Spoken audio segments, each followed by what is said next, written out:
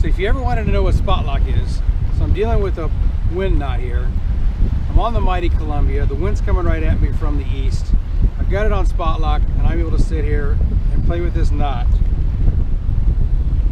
Try to get this thing untangled if it's ever going to come untangled.